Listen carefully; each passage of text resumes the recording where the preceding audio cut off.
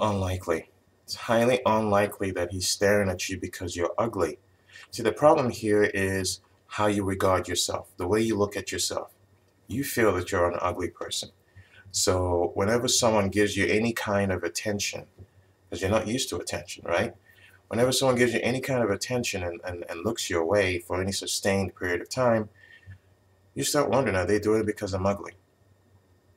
Because you feel like you're ugly and because you typically don't get attention. What you got to understand is, for a lot of people, they like what they like. And even though you might think you're one thing, to someone else you, you could be the complete opposite. All right? Even though you may think you're ugly, to someone else you could be the most beautiful person on earth. That's what makes us human.